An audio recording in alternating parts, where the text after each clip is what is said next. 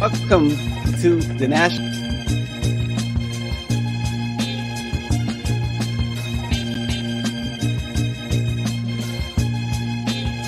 Welcome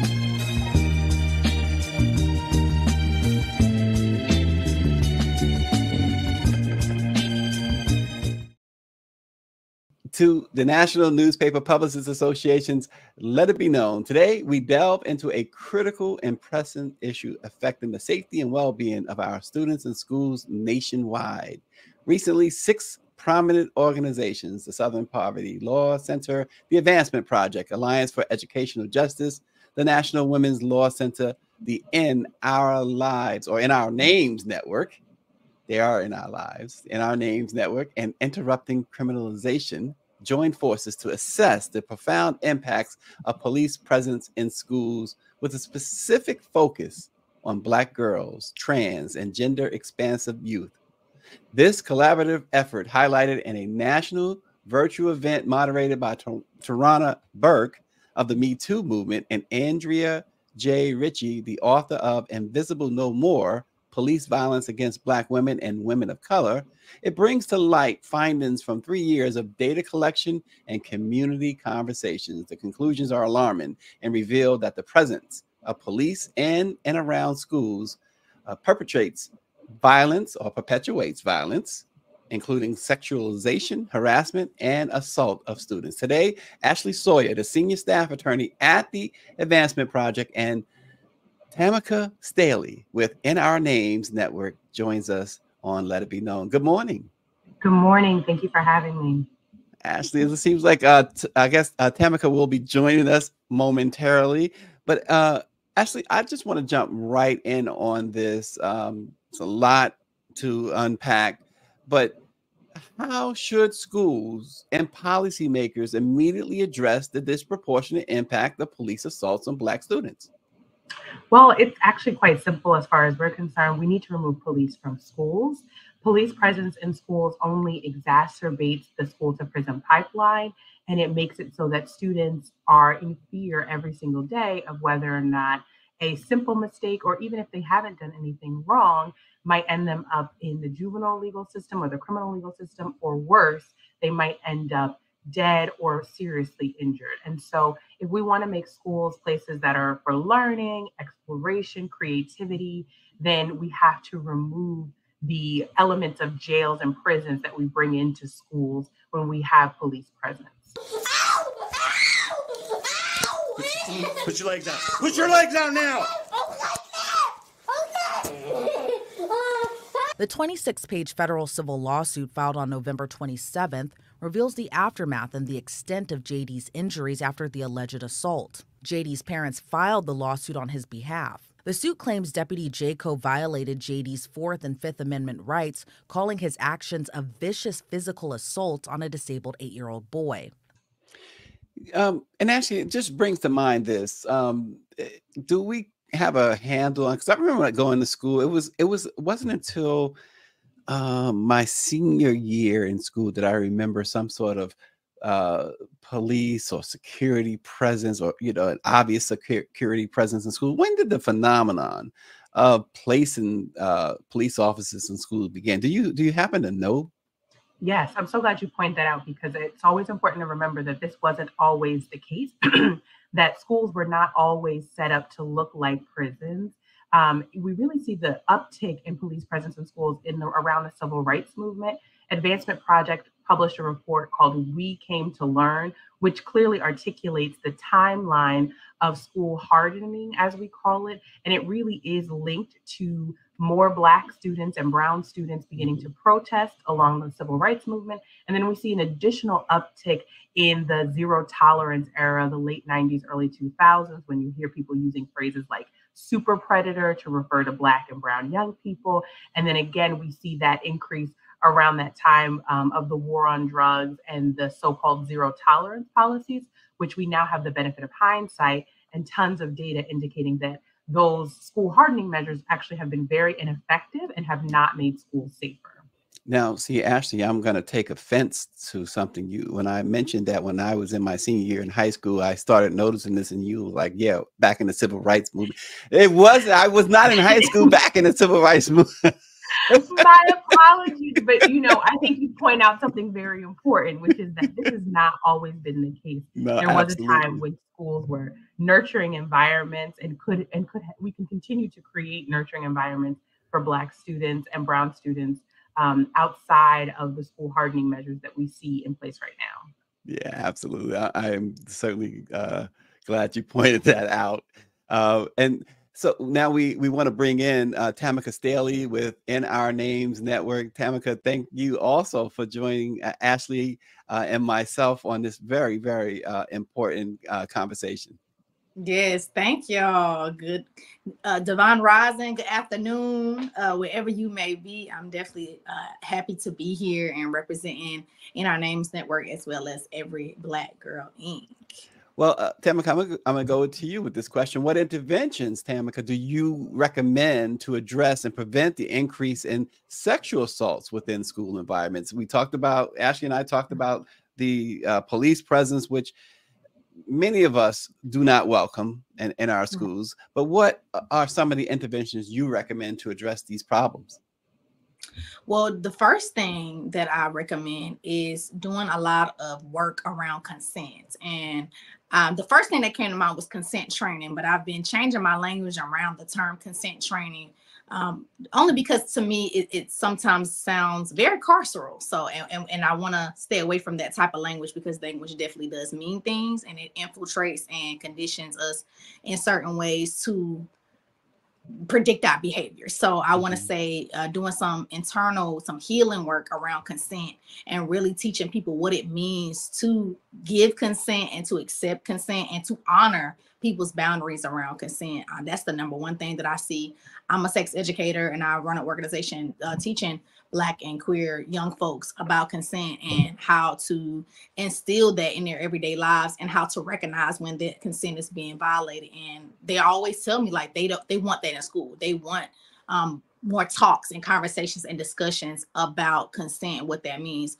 And the adults are the ones that that need it the most. Uh, and I think that that's going to be very pivotal in us working towards this more liberatory and this more creative and imaginative future where police sexual violence or sexual violence in general does not exist. So that's one thing. And another thing that I would recommend and suggest as an intervention is really looking at the ways that we instill this idea of discipline, right? So that is disrupting our ways and recreating some norms around what it looks like to teach young people about their mistakes, right? A lot mm-hmm. of the work that In Our Names Network does talks about how the state really penalizes Black women and gender expansive folks for you know things that are that are definitely just mistakes like being being human right? And those things those those types of disciplines are very harsh and very violent. So some interventions that really disrupt that and really recreate you know that there's a way to have a conversation with someone when they make a mistake when they are doing something that is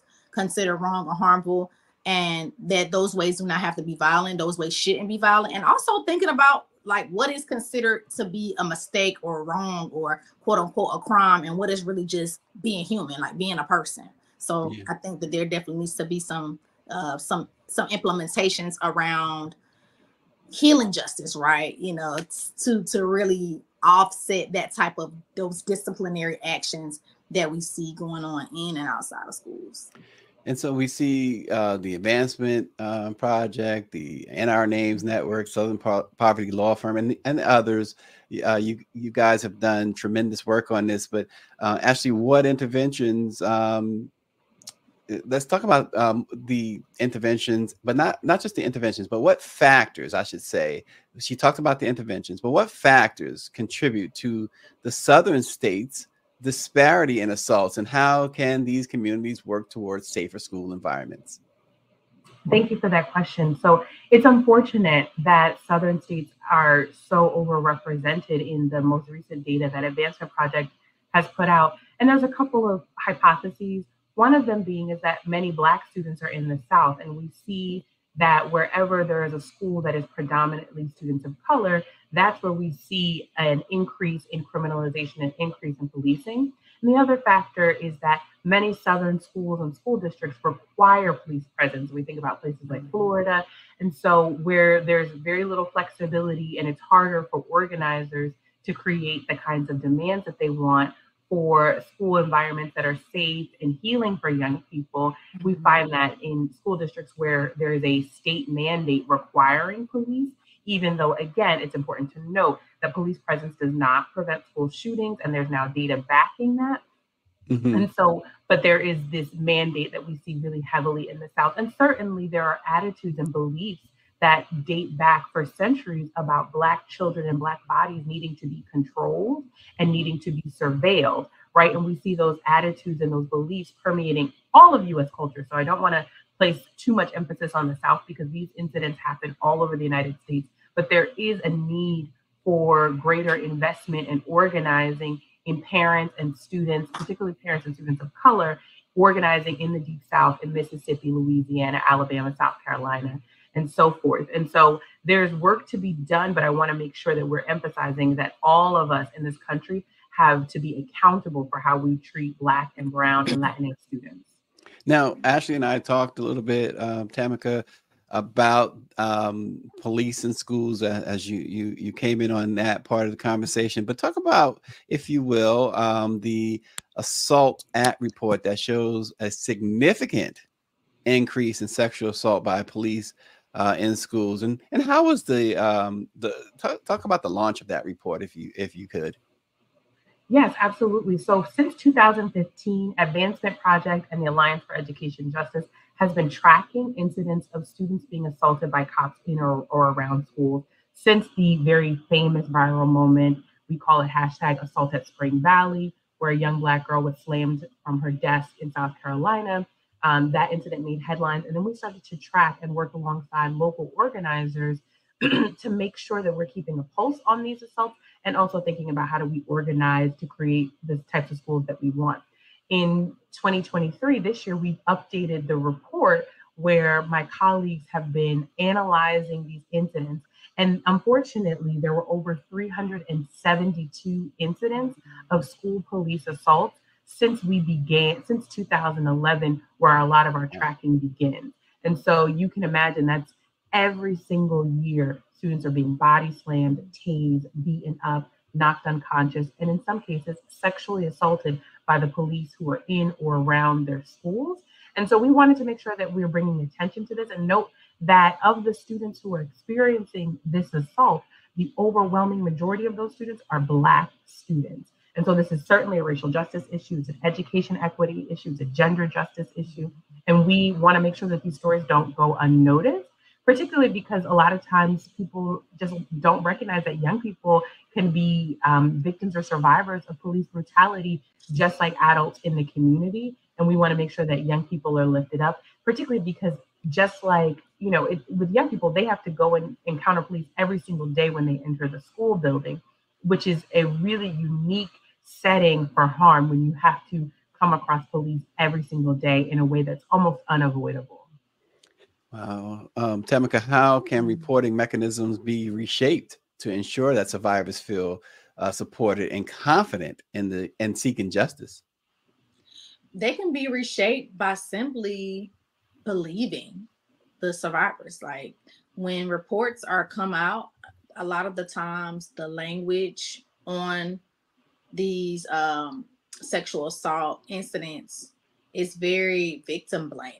You know, it's always focusing on the clothing of the person who experienced the assault, what they were doing, what they said, you know, being on their phone. Like Shakara was apparently on her phone in the classroom at Spring Valley, and, and that was the cause for calling the officer in, you know, mm-hmm. things like that. So instead of focusing on the action of the person who experienced the assault, I think it should just be more, it definitely should just be more focused and centering on justice and and prevention. And so I think that just going straight there as far as a reporting aspect that's gonna that's gonna build more confidence in survivors coming forward because they know that they'll actually be believed that people's gonna actually take their concerns and them speaking up for themselves and saying like this happened to me that's gonna that's gonna build the confidence there. It's just being believed and, and and seeing language that is empowering and centering the student and their wellness versus you know what they did to cause this thing, you know, right? You know, because at the end of the day, nothing causes assault but the person who does the assault. Like the perpetrator is the cause of the assault, nothing else. Everything else is is is a mere just irrequitable fact. Like, mm-hmm. oh, I mm-hmm. was on my phone, I was wearing a miniskirt. Okay, that doesn't because mm-hmm. assault. You know, people cause assaults to happen. So that that's definitely going to build some confidence around more young people coming forward when these things happen to them. Yeah, I think that's a, a great, great point because we do uh, oftentimes even even with uh, police violence in the streets we you know george floyd for instance you know what was he doing to cause mm-hmm. this or yeah, what was this yeah. you know that's a that's a great point um, ashley um, speaking of the report were there variations because we talked about the south right but were there uh, variations and experiences reported by young people in different regions? And and uh, along that lines, how can local communities tailor solutions to ex- to address specific needs? you know, I actually would have to refer to my colleagues for to talk to do more analysis around those regional variations. But we at Advancement Project, alongside Alliance for Education Justice, have a network of organizers in local communities across the country who are working on education equity issues and working toward police free schools. And that work network is called the National Campaign for Police Free Schools, policefreeschools.org. And so what we've been doing is not necessarily like a top down um, effort to end school hardening, but really working with local organizers and thinking about what's going on in their specific community, what their specific community demands are, and that includes organizers in Nashville, Tennessee, Madison, Wisconsin, the Black Organizing Project in Oakland. Um, we could go on and on. Organizers who, in each community, I'm thinking about Brighton Park Neighborhood Council in Chicago, all of these organizers have collaborated together to share ideas and to think critically about what is it that would make our schools safer? What are the investments that we want to see happening? Often we'll see where efforts are made to remove some police, the efforts are not made to make the investments that actually help young people who are experiencing mental health crises. There are not a lot of investments made in things like comprehensive sexual health education, which Tamika referred to, mm-hmm. right? Students are saying they want to know about their health, they want to know about their well being, but there's always a conversation of, oh, there's no resources for that. But somehow, some way, school districts have resources to invest in police and prisons. And so we have been um, really working with the local organizers for them to help think about what are their demands, what do they want to see happening in Raleigh, North Carolina, as in comparison to New York City. At the core of the work is to make schools liberatory. At the core and the shared value across all of our efforts are to remove police from schools and to really give young people space to learn and to grow in safety. Yeah, and actually, you kind of uh, uh, went into another question I had, and um, Tamika, you can jump in on this. Um, we we think about the victims, uh, but what about victims who have disabilities or mental health challenges? Um, what um, how can we better support those students uh, in efforts to reform school uh, policing? Yeah, that's such a great question because it doesn't come up often enough for sure. So, in my experience, providing accessible buildings, like just something at the baseline of that, providing accessible classrooms, providing accessible chairs and seats and and viewing a material that that's a a great start to mm-hmm. to helping uh, students because it, it creates an environment of care right because what I've what I've noticed over my years being a survivor myself and also working with survivors, working with a lot of Black queer youth that are survivors um, who also have disabilities and other co-occurring conditions like all at once co-occurring identities. The environment of mistreatment is what breeds sexual violence, right? The mm-hmm. environment of like neglect and this idea of like what bodies deserve deserve care and wellness and which ones do not So creating an environment of care where we eliminate barriers for people to have to work hard to be able to do things, you know, that that's a, a great base baseline to mm-hmm. supporting students with disabilities, um, especially when it comes to preventing certain uh, issues with sexual assault and and just even even with students amongst themselves, you know, interpersonal violence with with each other. I think that that just teaches them, you know, like if I'm seeing one of my classmates who has a disability, whether it's physical, psychological, mental, and I'm seeing the school provide resources for that. You know, I'm seeing ramps, I'm seeing, you know, different plans uniquely curated for students' needs, then that other students are going to more likely to model that. They're going to be able right. to talk to people in a certain way. They're going to be able to, you know, maybe you hold a door for somebody you see they might need help, or or not if they're telling you that like I'm good, respecting the boundary. So just creating a, a, a environment of care where we're conditioned to be accommodating to people who are different than us, and mm-hmm. also still treating them like family. You know what I'm saying? Like this person is still very capable they're still very autonomous so yeah that that environment of care and providing students with just resources that are accessible that's for me the baseline of, yeah. of supporting students with disabilities in that way and ashley i know that nothing short of getting uh, officers out of schools is going to be sufficient enough but in the meantime uh, what steps uh, should be taken to ensure that policing does not escalate to physical uh, harm, physical activity, but prioritizing de escalation tactics?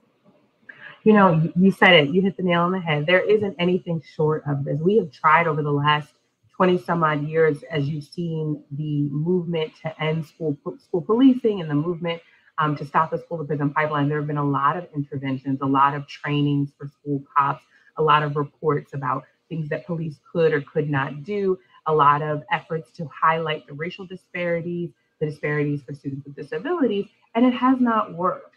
Overwhelmingly, we have found that you just can't put, you know, uh, you know, dress up something that is just foul in and of itself. The you can put as much air freshener on it as you want. You have to remove what is foul and what has what is rotten. And at the end of the day, our young people deserve that. Some of the interventions that Tamika was talking about, specifically targeting students um, or supporting students with disabilities, you know, as an attorney, I've done special education work specifically for young people who are at the intersections of the school to prison pipeline. And overwhelmingly, students who get suspended, expelled, or pushed into juvenile prison have some type of special education diagnosis whether it is for any myriad of behavioral challenges, ADHD, et cetera, et cetera. But what we find is that schools don't often have the resources or the knowledge to meet those students' needs. And we have to ask ourselves, why don't schools have the resources for the appropriate kinds of classroom sizes where their teachers have more than enough help, more than enough tools and resources? And often the answer to that question is because we have spent most of our money to punish students and to hire people to catch students if they make a mistake or even if they have not, rather than saying, what if we took the millions and millions of dollars that school districts across the country spend on policing and put those millions of dollars towards training students and training teachers about consent and healthy boundaries?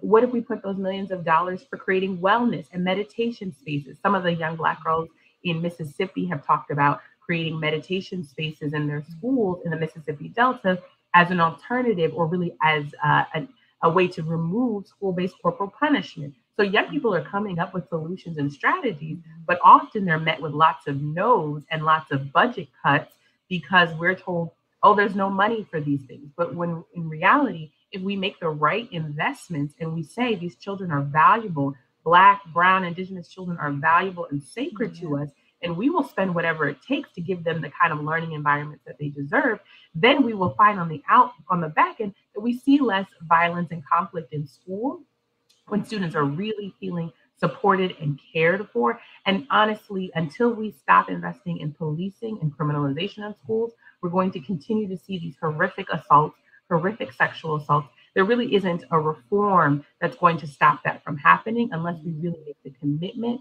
to saying our young people are sacred their bodies are sacred, and we will not tolerate anything less than safety and love and care for young people. And that's it. Yeah. Yeah. And, and Tamika, um, she said, period. Tamika, um, you know, you, you, mentioned the queer and trans, um, and, and you know, essentially the LGBTQ uh, plus uh, community, um, and I, I hear uh, at, uh, Ashley with care and support, but you do find, in some cases, at least, um, where in the home that support and care isn't there. And you get they go to school these individuals go to school and then they find that as ashley's been talking about police in their face uh, uh, committing some of these uh, um, just heinous crimes attacks how do they cope how do they begin to cope because you know, I, I, watched like Marlon Wayans come out recently to um, talk about his child, who is now, you know, is a, is a transgendered uh, individual. Um, we we know about Dwyane Wade and Gabrielle Union's uh, child. Uh, we see those examples, but at what point will it become they don't have to? The parents and others, the loved ones, don't have to come out and say, you know, I support them because they're saying that right because of the fact that it's uh it's not the norm right now. So how do we change that? The change really just is internal and it it really is like a a choice to be honest for for people just to say like I'm ready to do something different. I'm ready to unlearn, relearn, and recreate some of the norms that I've been taught. It's like always the model that I use. So that's the thing because bigotry is is taught, right? You know, we don't just roll out of bed and say that trans people don't deserve equal rights, you know, roll out of bed and say, you know, dark skinned people are less valuable or less beautiful, you know, or you know, that that those things are taught, right? So it really is going to take individuals on an individual level to just decide to be different, decide to unlearn and decolonize our mindsets around sex and sexuality you know that and and then change and then the behavior changes right? So the behavior is attached to the ideologies and the ideologies are learned right? These are not innate things that we are born with. So that's going to be the change to change the mindset and then the behaviors will start to change then we will start to see legislators make policies and laws that support queer and trans folks like we will start to see corporations get rid of their policies, their at will policies. You know, there are several states across the country, South Carolina, where I'm from, is one of them that can fire someone because they're gay or trans. Like they they can. It's just it's legal to do, right? And a lot of mm-hmm. states are at will just for any reason, right? And so they those are certain legal things that protect people to be discriminatory and, and, and, be, and, be, and, be, and engage in bigotry, right? So yeah, that's that's the change. It's really just mm-hmm. an internal choice, and then that starts to catch on, and people start to change their behaviors. You know, from the way that you treat somebody on the streets to the way that you create policies, to the yeah. way that you have organizations that provide certain resources, on uh, the way that you have conversations about people. So that's that's the change and then we won't need to say like i support this person you know i you know it, it won't be such a and and i don't get me wrong i, I think that that's beautiful that dwyane wade and you know these these mm-hmm. celebrity parents are supportive right i just think that i can only imagine that i'm sure it can be exhausting to to to do that you know, because mm-hmm. if we just lived in a world where you can just say, "Oh, I love my child," like just on just a regular, like I love and, and that's the point, right? Be, yeah. So I yeah I, I I think that that is going to create that normalcy, you know, because mm-hmm. it is normal. It is just very much is. It's just going to take other people also doing what a Dwyane Wade does, right? You know, and and and shout out to Zaya Wade first and foremost. I'm going to send to her for just being such a a, a, a miraculous young person, and, and not because she's in the limelight and decided, you know, that this is what she's gonna do because they're you know but just for just existing like literally simply for just existing you know? But yeah it's gonna take people to just decide that they're gonna do better. That's that's really it. So ashley's like you go girl. But ashley um prioritizing student safety um to prevent uh you know extreme harm or even loss of life um due to encounters with law enforcement um how do we uh, just underscore again? How do we prioritize student safety when it comes to encounters with law enforcement in school settings? That's an important question. I think first we have to start to talk to young people and get involved in some of the organizing that is happening to remove the police that's police from schools. As I mentioned, you know, we're connected to a network of organizers, local organizers across the country, policefreeschools.org. You can find out more about them. Um, and so, how do we keep young people safe? I think it's important. Tamika already said to believe young mm-hmm. people when they say, particularly when we're talking about school-based sexual assault, it's you know horrific. But a lot of those incidents started with inappropriate text messages between the school cop or the school security guard and the student. If the student is saying, you know, this person said something to me that didn't seem quite right, or you know, another student I've met said, you know, this the cop just said something like, oh, you know, that bodysuit looks real good on you. Those kinds of mm-hmm. comments are actually a part of a culture of sexual harassment, and it is completely inappropriate. And so, sort of to protect students at the beginning is to believe them, even for the small things, even for the things that don't all automatically rise to the level of assault. The things like the smart, inappropriate comments, mm-hmm. comments about bodies, how the student looks in a particular clothing, we even think about the way we have to maybe reevaluate school dress codes. Yes. If you have a school dress code that says girls don't have your arms out or girls don't have a low cut blouse, then that what that means is when that student goes through the metal detector every morning to get through school, there might be a school cop there who has the opportunity to critique what that young person is wearing and what's on their body. And that opens the door for those inappropriate conversations those conversations that make young people feel unsafe. And so we have to really be very careful about dismissing sort of what we think of maybe as the smaller things, because they actually might be a part of and indicative of a larger systemic problem, certainly, but in specific incidents could be indicative of a pattern of behavior. And what you'll find in the Assault At report is that many of the school cops, like many other incidents, who have been engaging in school based sexual harassment or assault there's usually more than one ch- child and there's usually more than one incident because it's a pattern of using their power to make young people feel like they cannot speak up, make me, young people feel like maybe it's their fault. And in reality, there is a disparate power dynamic. And there's also a recognition that our culture tells young people that you have to do whatever cops tell you to do, even at your own risk, even if it puts you at risk for sexual violence or harm. And so really believing young people, making space to teach them, as Tamika mentioned, about consent. It is not okay for someone to touch you or make comments about your body that you did not consent to. All of those are smaller pieces of a bigger puzzle, but we really do, as Black parents, organizers, aunts, uncles, um, all of us have to be saying, what are the ways that I can get connected to organizers who are trying to build the kind of safe schools that my young people deserve and that young people themselves deserve? And I think that should be ultimately all of our work to walk alongside young people and support them as they articulate their vision for what makes them feel more safe. Yeah, and uh, finally, how can folks view this report? How, where, where do we go? Mm-hmm. I would say start, you know, reading the stories of the young people. Start with, you know, making sure that we're centering the young people. And in when we follow the hashtag assault, remember that each of those hashtags whether it's Spring Valley or or a different city, that's a real child, a real person who was impacted by that, and start right there thinking about them as humans.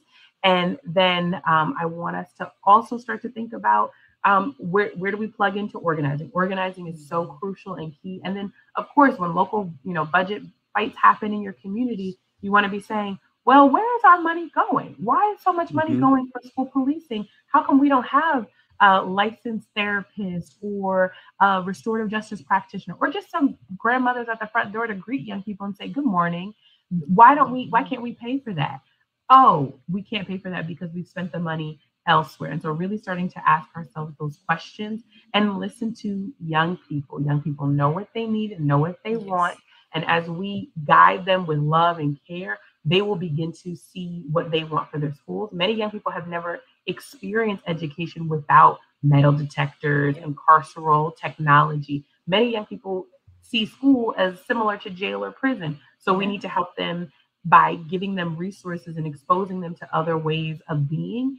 And as we begin to do that, Um, I'm excited to see how we, as Black caregivers and family and community who might be watching your show, might say, All right, I want to get close to some young people who are organizing.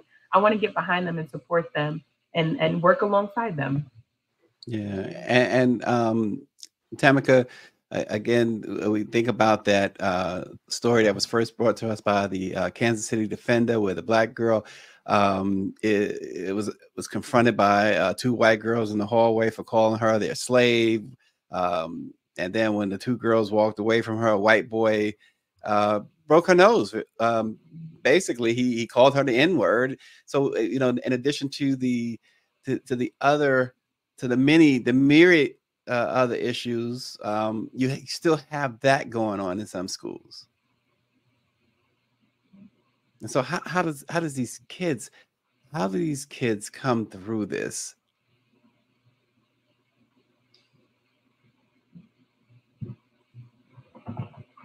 Oh, I think uh, Tamika uh, froze up. I'm so sorry. Uh, Ashley, I'll throw that question to you if you don't mind. yes, that incident is unfortunate and just really horrific. And it's really indicative of the climate, that political climate that we're in, right? We're in a climate where anti Blackness has always been here, but it's really on the rise. And as we're seeing more legislation more efforts to prevent students from learning about accurate racial justice history, prevent students from reading books about their own culture, their own experiences, and also it impacts white students. It creates the conditions where they feel comfortable to say horrific racist epithets. And it also, we have to put the accountability on the educators and the school principals what kind of environment are we creating? Because we only have we have to really criticize and be open to to self-reflection about what kind of school environment allows that type of behavior. What are students being taught? What are the ways that racist ideology, anti-black ideology is being reinforced? And what I want to also point out about incidents like the Kansas City one and many others is often when Black girls speak up for themselves or defend themselves, they're the ones who get suspended or expelled. Yes, which she was.